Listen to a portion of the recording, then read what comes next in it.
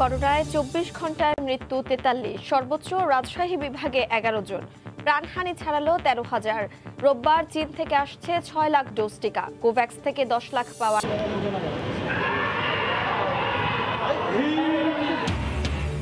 আবাহনী মোহামেডান ম্যাচে আউট না দেয়ায় লাথি মেরে স্ট্যাম্প ভেঙে আবারও আলোচনায় সাকিব। বাঘ বাগবিতণ্ডায় জড়ালেন সুজনের সঙ্গেও।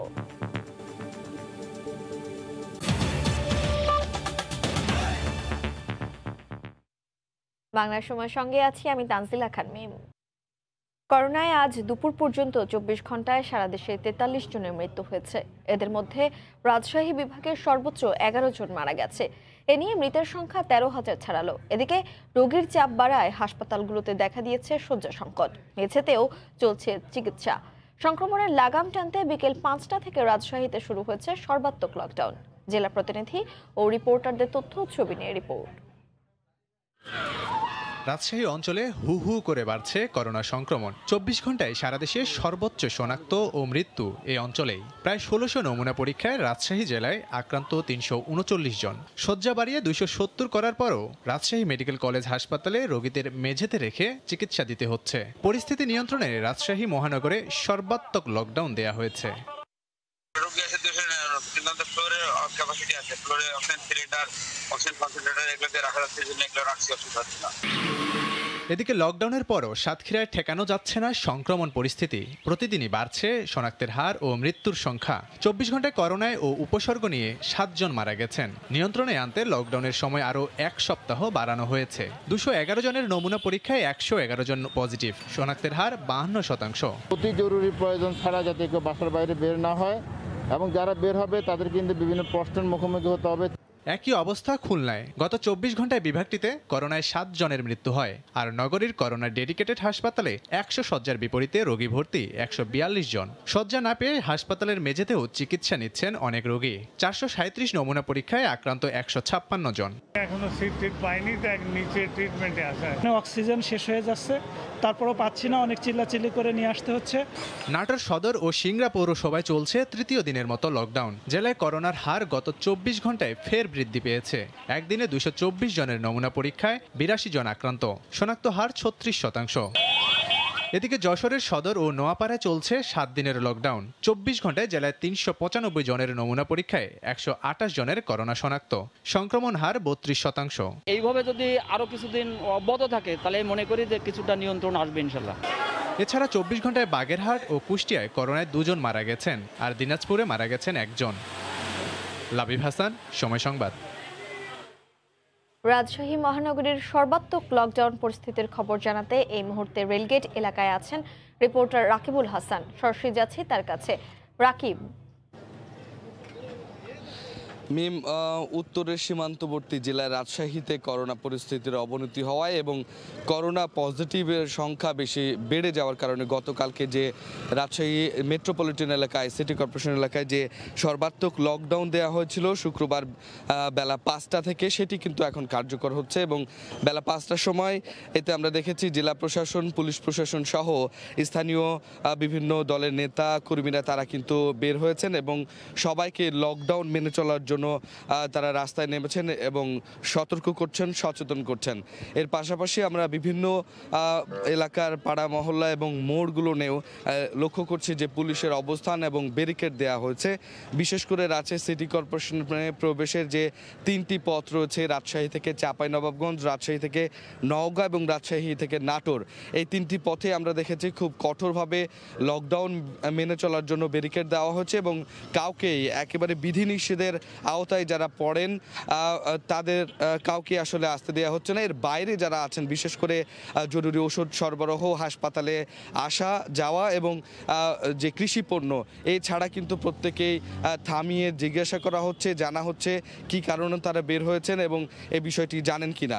এবং জেলা প্রশাসনের পক্ষ থেকে যেটি বলা হচ্ছে, যারা এই বিধি মানবেন না, তাদের বিষয়ে আইনত ব্যবস্থা গ্রহণ করবেন তারা এবং এই লকডাউনটি পুরোপুরি মানতে প্রত্যেক দিনই তাদের বিভিন্ন ভিজিলেন্স টিম থাকবে। এর পাশাপাশি পাড়া মহল্লাগুলো নিয়ে কিন্তু বলা হয়েছে যে বিভিন্ন দল গঠন করা হবে এবং তাদেরকে নিয়ে সর্বাত্মক স্বাস্থ্যবিধি মেনে চলা এবং লকডাউনটি বাস্তবায়ন করার জন্য তারা কিন্তু কাজ করবেন।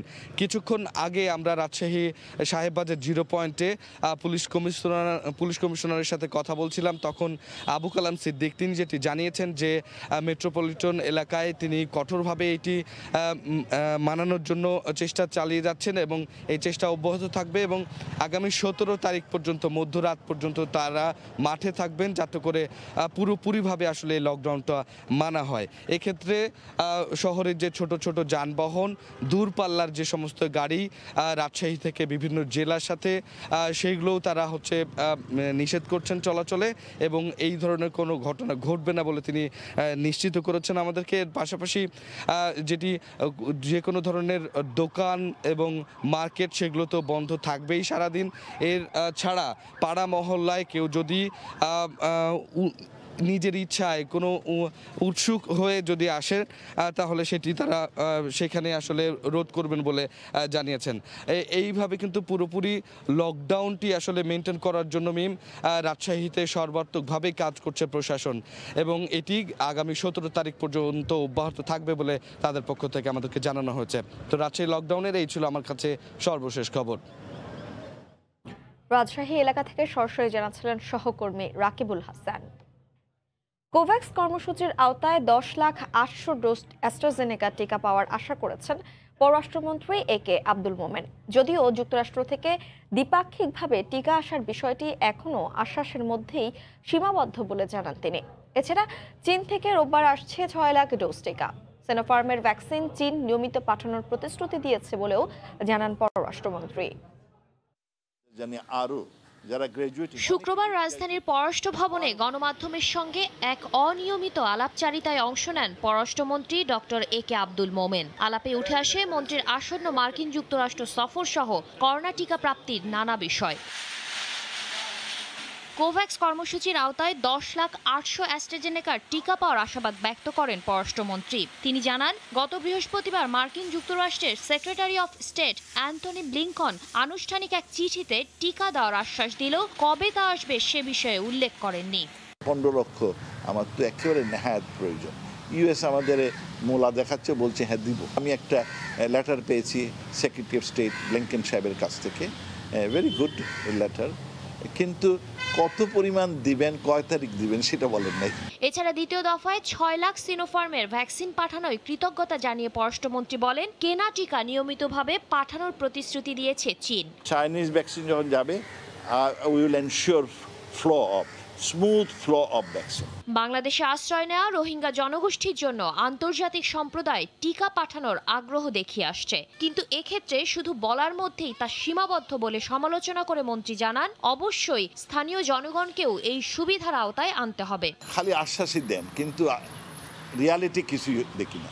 অলরেডি আমার যে লোকাল লোকজন তারা বিভিন্ন দিকে ডিপ্রাইভ তাদের ইনফ্লেশন বেড়েছে, তাদের চাকরি টাকরি অর্ডার খেয়ে ফেলতেছে, তাদের জমি জমার উপরে তারা নষ্ট করতেছে। আর এরপরে দেখে যদি ওদের খালি আপনি ঠিকা দিচ্ছেন, আর তাদের দেন নাই। They will not accept it তা আমরা বলছি, শুনেন, খালি একা রোহিঙ্গাকে দিবেন না। দিলে আপনি স্পেশাল অ্যালটমেন্ট দেন, আমার লোকাল লোককেও দিতে হবে। আগামী রোববার ভোরে জলবায়ু পরিবর্তন ও মিয়ানমারে রোহিঙ্গা প্রত্যাবাসন ইস্যুতে কয়েকটি গুরুত্বপূর্ণ সভায় যোগ দিতে পাঁচ দিনের সফরে মার্কিন যুক্তরাষ্ট্র যাচ্ছেন পররাষ্ট্রমন্ত্রী ডক্টর এ কে আব্দুল মোমেন। আমরা এই রোহিঙ্গা ফেরত যাওয়া এটা একটা কন্ডিশন করতে চাই। ডেমোক্রেসি হোক যাই হোক they must go back Shatila Sharmin Somoy Sangbad Dhaka. মিরপুরে ঢাকা প্রিমিয়ার লিগে আবাহনী ও মোহামেডানের ম্যাচে আউট না দেয়ায় লাথি মেরে স্ট্যাম্প ভেঙে আবারও আলোচনায় সাকিব আল হাসান। সাকিবের করা পঞ্চম ওভারের পঞ্চম বলটি আঘাত হানে আবাহনী অধিনায়ক মুশফিকের পানে। এলবিডব্লিউ এর আবেদন করলেও তা প্রত্যাখ্যান করে আম্পায়ার। এরপরেই ক্ষোভে স্ট্যাম্পে লাথি মেরে নন স্ট্রাইকের উইকেট ভেঙে ফেলেন সাকিব। এদিকে এ ঘটনায় সন্ধ্যায় সামাজিক যোগাযোগ মাধ্যমে দুঃখ প্রকাশ করে ক্ষমা চান তিনি।